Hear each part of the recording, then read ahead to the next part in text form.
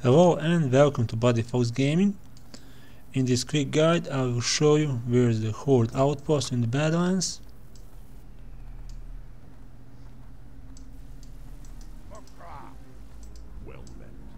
Kargath.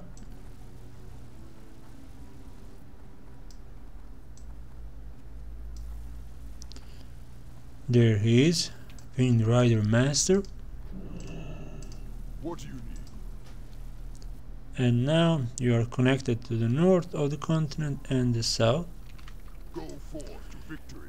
Oh, let's see what else is here. Mailbox, good. Stable Master,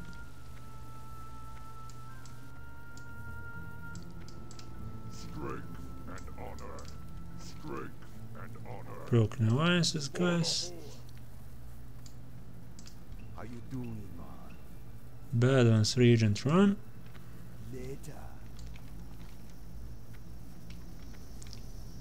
As you can see there are four quests.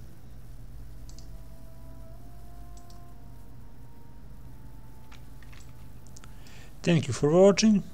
If you are new to the channel subscribe, that means a lot. Until next time, goodbye.